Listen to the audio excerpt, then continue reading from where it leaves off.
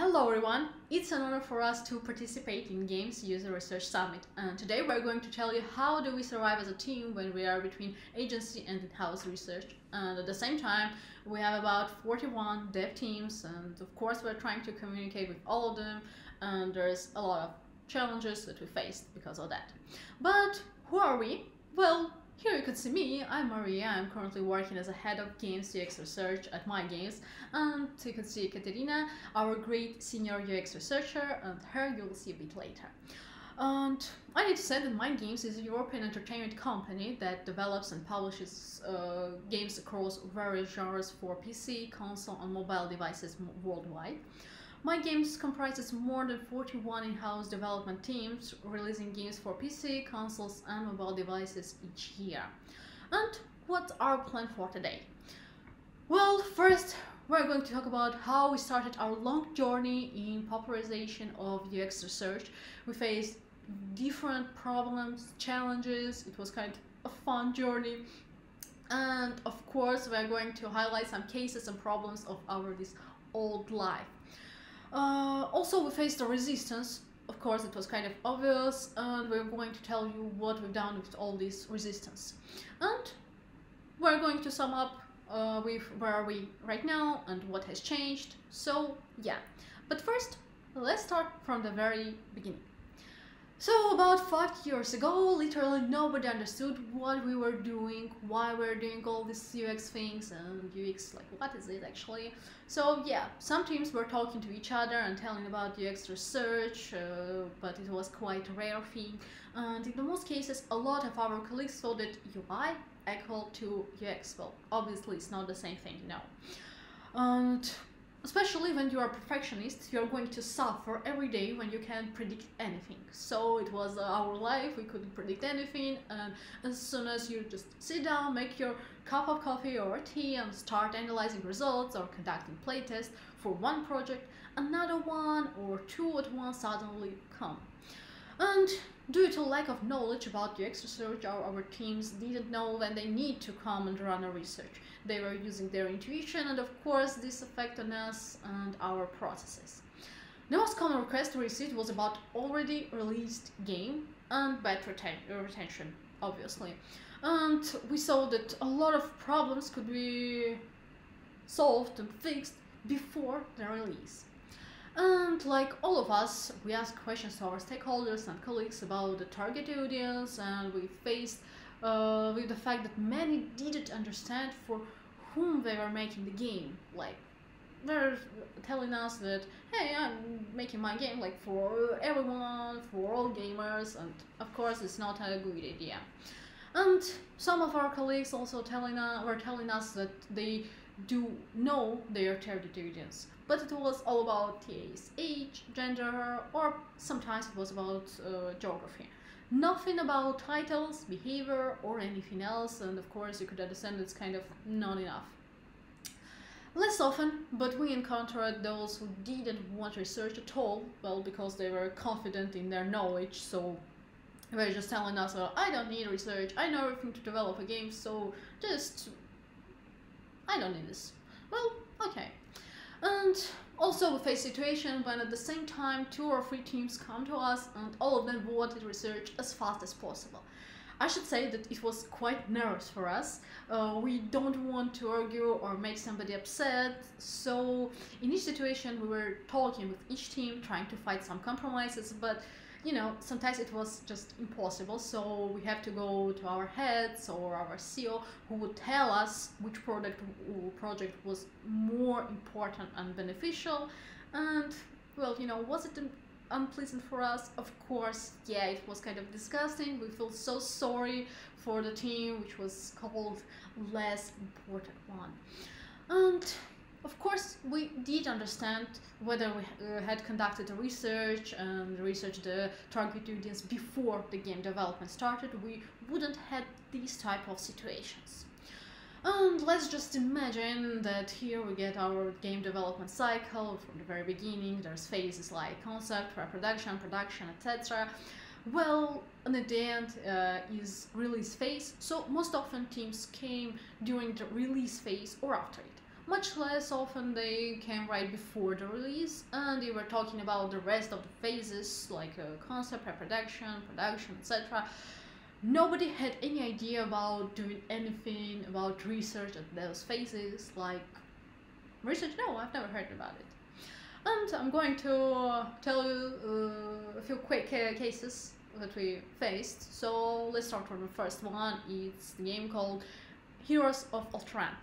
So what's the game? The core gameplay is match three, but actually there's some more different game mechanics like PvP Arena, you can collect characters, upgrade them by collecting cards, and each of characters has its own stats and abilities, so during the match you need to remember all your and enemy's characters' weaknesses and strengths and use them for your strategy.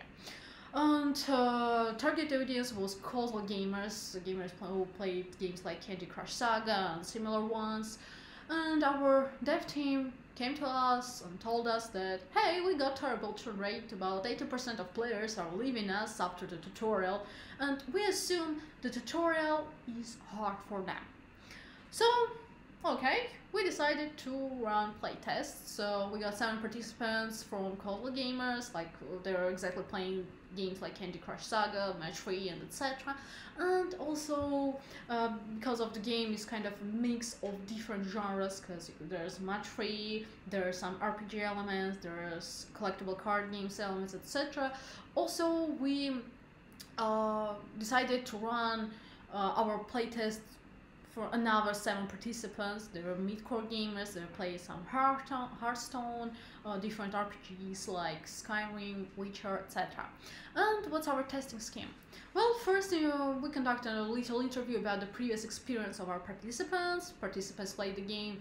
Uh, the moderator was watching the gameplay in another room with dev team, and we were tracking participant side by using eye tracker and uh, a survey with uh, my two um, methods, which we really appreciate and we're using them. It's Microsoft Desirability Toolkit, MDT, or Game Experience Questionnaire, it's GEQ. And of course, after that, we conduct in-depth interview. And here is the screenshot of core gameplay. You could see here the field with crystals. It's the match-three field. By matching different crystals, you make different actions. For instance, if you match three red hammers, then you deal some damage to your enemy. But if you match three yellow crystals, then uh, you gain some shields. And this shield would uh, block your enemy's the next ability attack. And on the bottom there's force ability, which requires mana, and the last one is your special or ultimative ability, and under your characters you could see their stats. And um, what we got? Well, here is, you could see an eye tracking of participant, and we're kind of sorry for low quality, but we really wanted to show you these um, results with an eye tracking. Uh, well, it was a nice participant. She was completely absorbed by the core me um, mechanic, this match three mechanic, but at the same time, she wasn't paying attention to health and mana bar, purple crystals for ultimate ability, overall abilities, character stats. Well, she's completely ignoring anything else but this match three thing. As a result of our playtest for casual gamers, the game itself was extremely hard and intense. Their main motivation to play games was just relaxing and having some rest, but this game raised the level of tension. And as I mentioned before, uh, we also had 7 mid-core players. And, well, they understood everything about the, game, the game, like the core gameplay of the main thing, the meta part, but it was too boring to play a game with these mechanics, so we get just two different opinions then. Um, for once, for one our uh, target audience, well, it was kind of too hard, too intense, and for another one, it was too boring. So the game didn't fit for its target audience. It was kind of, well, kind of sad to hear, but yeah. And um, there were a lot of uh, resources spent to develop the game, and this type of enormous mistake was hard to fix. The dev team tried to fix it, but well, it was easier to admit the mistakes and learn them and start developing a new game from the very beginning. And, well, obviously the project was closed. But we got another case. Uh, here's the PC game, World of Speed. Uh, it was a vertical slice of our racing game. We got four racing tracks, like everyone else at the very beginning, we always brief our stakeholders and colleagues to collect all the data about the project and sure we ask questions about the target audience. However, in this case we got quite weird answers. Well, the team didn't know anything about their RTA, but it was a relief for us that they wanted to study the audience to test correctly the game further. And they did understand that it's easier to change the game or even stop developing it at that point rather than after the development. So first I need to say that we run 8 focus groups with players and then we run a survey. As a result, we divided the whole audience of racing games players well into six segments. First one is hardcore simulator players, like they get different stuff, different devices, so yeah, they're quite hardcore. Second one is atmosphere lovers. Of course, they need to see this beautiful atmospheric movement of the car and how it works. So there should be a beautiful sunset, etc. Uh, the third segment was arcade lovers. For them, it's just they need to fun, like uh, they're often playing some different, well, you know, Mario Kart games. Uh, the fourth one is online players. For them, the crucial part is just online. They need to play with the with their friends, and actually they don't care about this racing genre. The fifth one, players in a live company. Like for them, it's crucial to, to play offline with friends, uh, and often they play on consoles. And the sixth one, the last one, it was just random players who like played the game by accident, just a bit for a few hours, and that's all. And they're not that in this genre. And after that, we went into ethnography playtest with hardcore simulator players and atmosphere first for lovers. Uh, it was an ethnography playtest, and also after that we uh, get another interaction uh, in our lab. We test the game.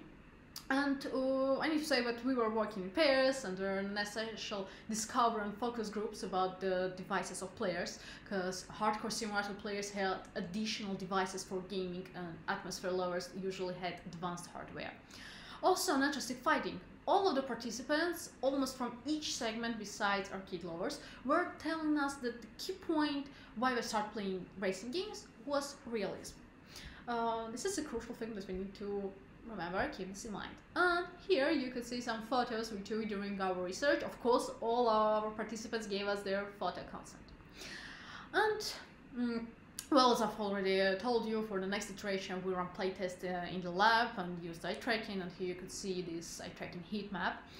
Uh, well, and I need to say that this faced an interesting situation. Participants from Atmosphere Lovers group, after hitting a pole, for example, uh, hitting a pole on a road, did nothing and they just waited. Like, just, they just hit and do nothing. And we were like, what's happening? It was kind of unexpected for us. It turns out that they expected that they would automatically be transferred from this accident to the road and they would continue to drive and they do nothing else for that.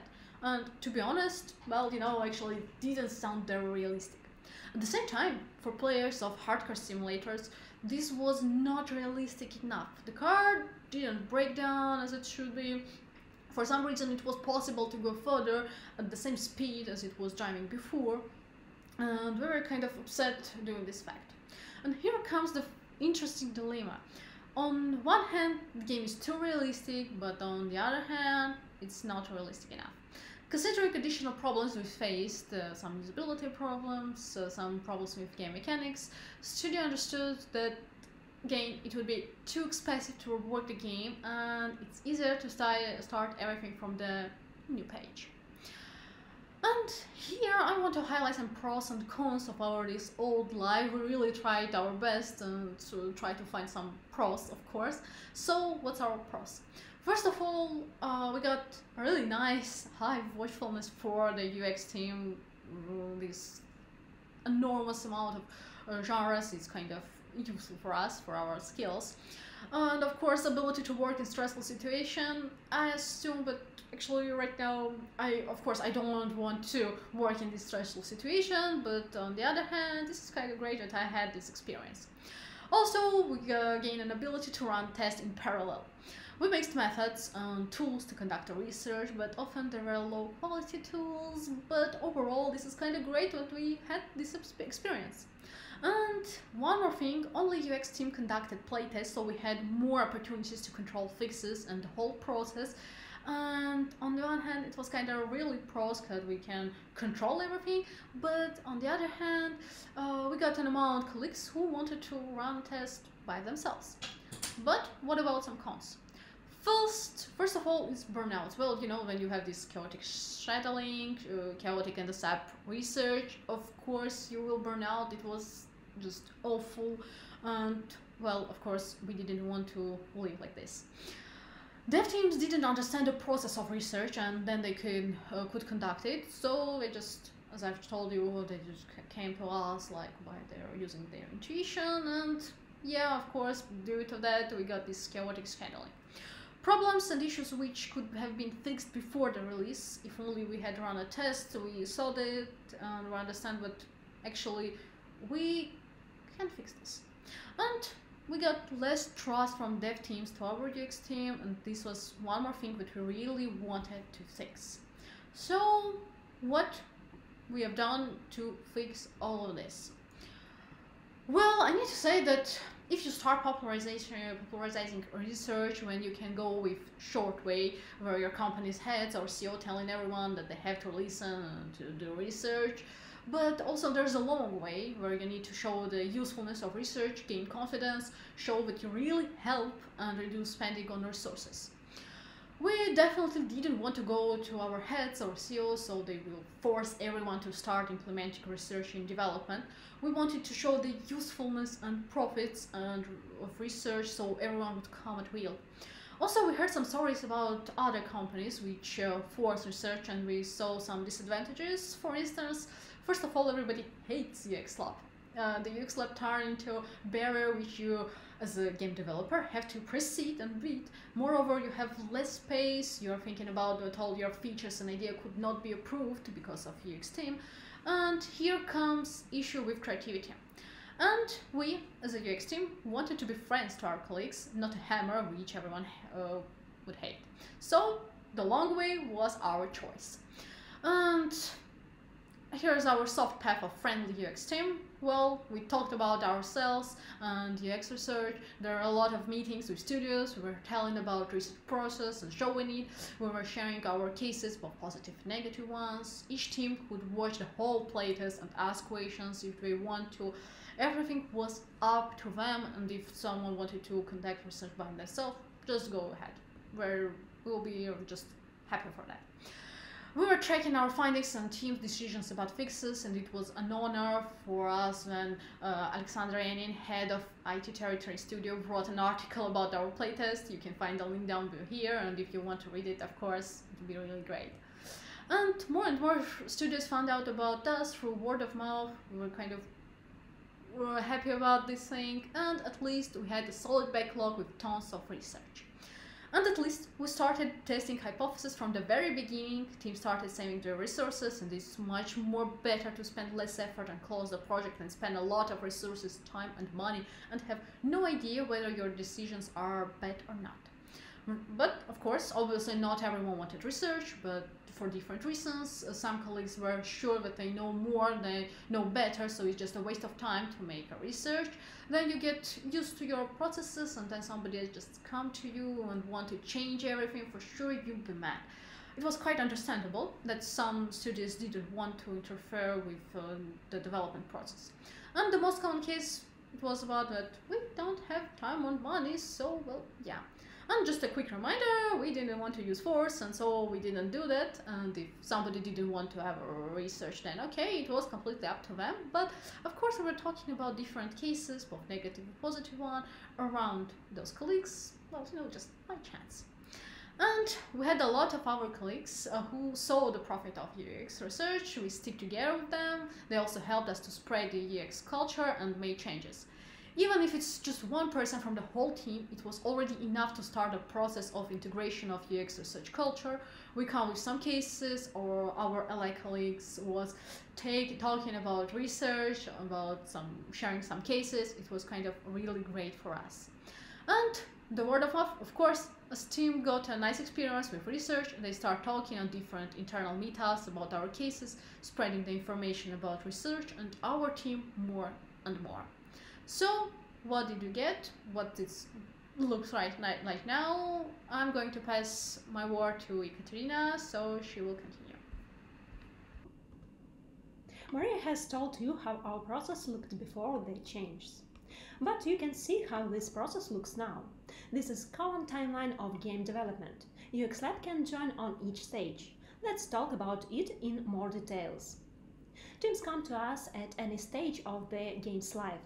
This decision gives uh, a possibility to change a game from the beginning and lower the cost of development and employment resources. Why is this happening? People know about the possibility of conducting research. Before many studios didn't know about the inner UX lab in my games and its opportunities. Development teams know about the results of research at each stage of development and are aware of research value. Teams understand how we take research results. Therefore, we are ready to change their game depending on them. They know that uh, there are many methods of conducting research and testing hypotheses, not only playtests. And quite important people understand that they won't be refused with help. Teams book our time in backlog in advance not uh, in a few days before the release of new future features, uh, but why is this happening? They know that we work with all studios. Also, they understand that our UX team is a small one and each works in parallel on three or five projects. Uh, for example, in 2021, we conducted 71 micro researches. Teams understand that the preparation for where research takes uh, some time. For example, when we plan playtests, we use a four weeks rule. The first week we meet uh, the team, collect hypotheses and questions, prepare the guide and uh, equipment.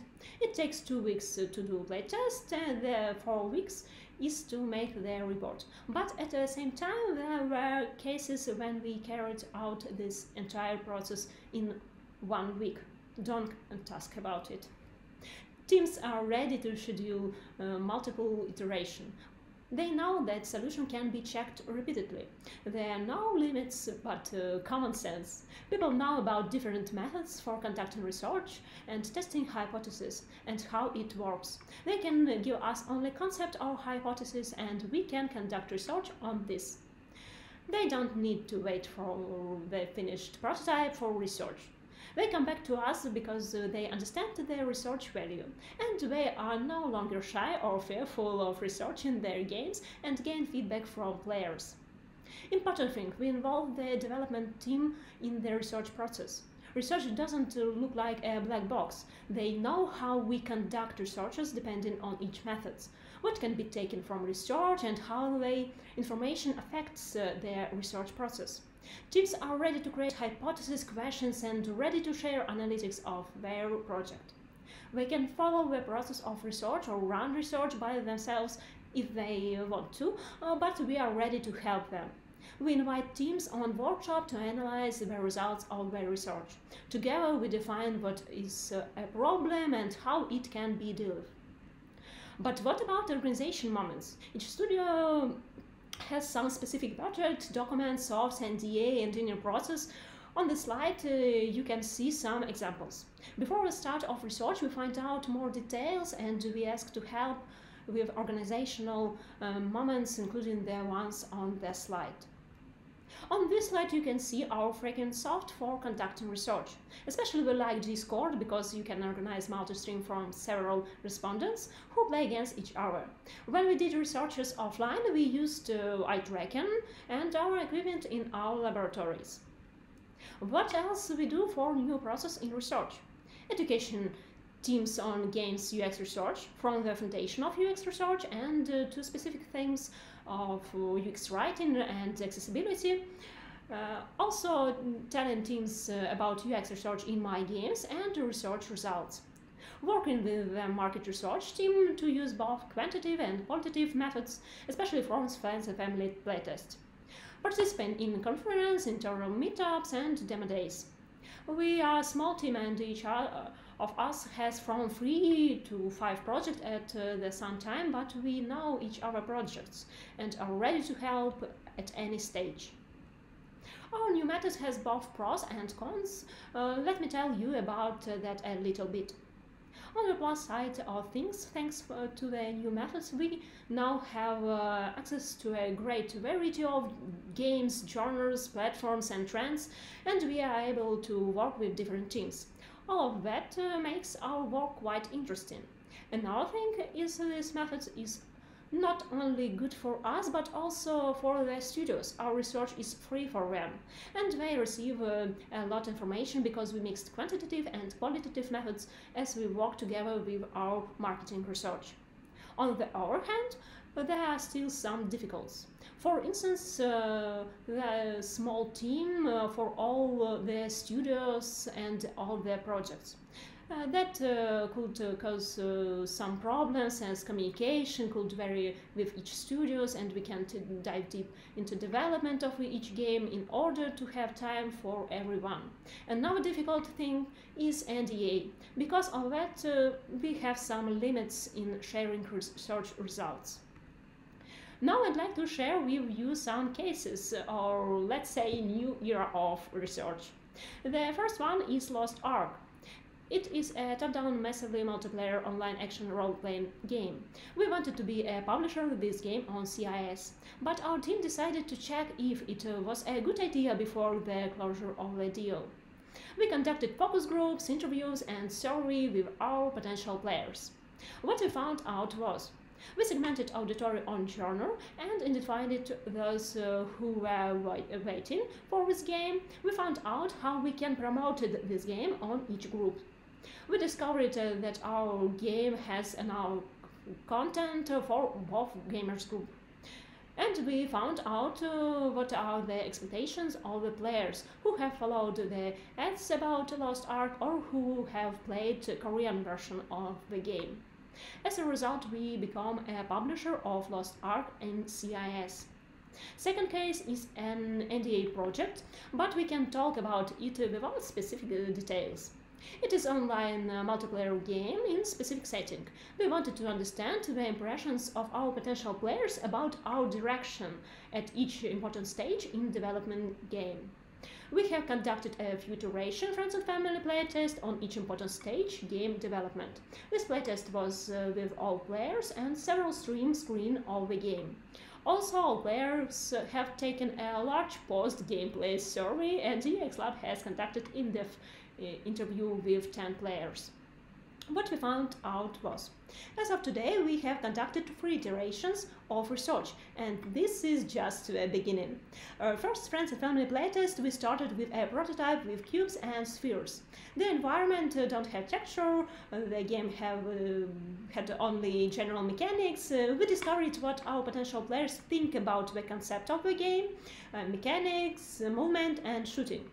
Second Friends and Family playtest, our game had the USB feature, and you customize uh, characters block, texture of the environment. We discovered what our potential players think about new mechanics in game, visuals, sounds, special ability of the hero, and how this version of the game differs from the previous one. For uh, Friends Friendly playtest, uh, the game had secondary games mechanic. The expanded customized uh, character block, loot boxes in the shop, texture on characters, improved general mechanics and uh, actions. We discovered what our potential players think about the game at this stage, how they play and uh, what think about improvements of the game. And next case uh, is uh, Pathfinder Wrath over Ages.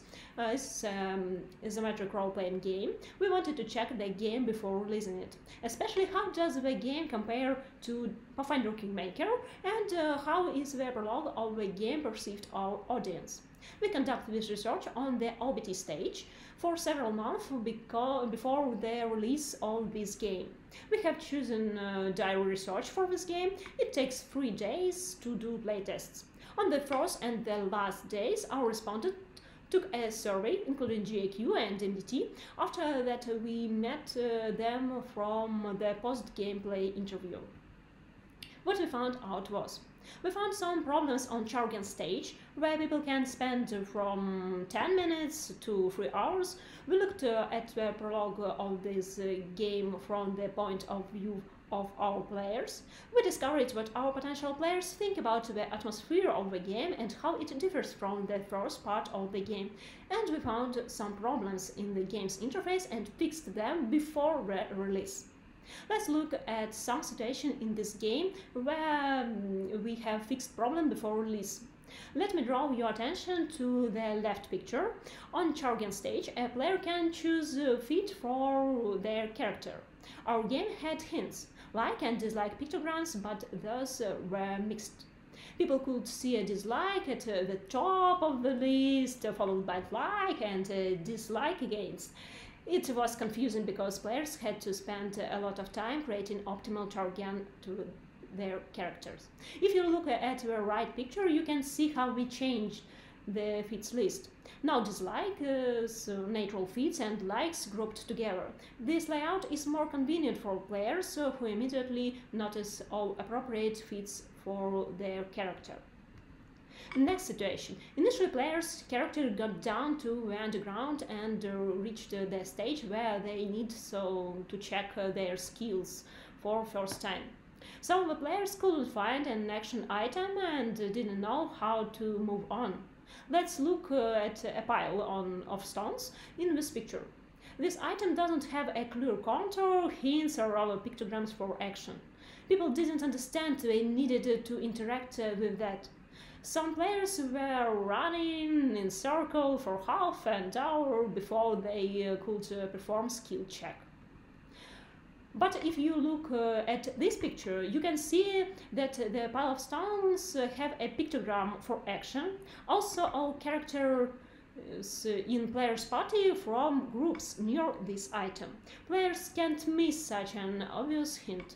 This fix uh, helped our players cope with such situation. To sum it up, let me give you some tips uh, that you can use to modify your research process. Don't pressure your teams. You don't need to be filtered. You are friends and supports. Think of it like an um, raid party on Last Boss. Be the ambassador of research and share your expertise with all teams in different forms. And speak about you. Meet first with new teams, participate in inner meetups, demo days, international conference, and etc. Let your team know about you and be proud of you. One of the important life hacks initially enlist support from at least one team uh, who will promote you from the inside. Inner rumors about your results of research eventually will pay off. Be flexible, don't refuse your teams and try to reach an agreement. But don't lie and know your UX lab limits. Don't promise silver bullets for all problems. It uh, will be shatter confidence to UX research. Involve teams in the research process throughout its duration. Give answers to even uh, the most obvious uh, questions. Because so teams can understand how research works and what to expect from it one each stage game development. Important thing, you need to have patience. Sometimes it's not easy. And know that you are doing the right things. Thanks you for your attention.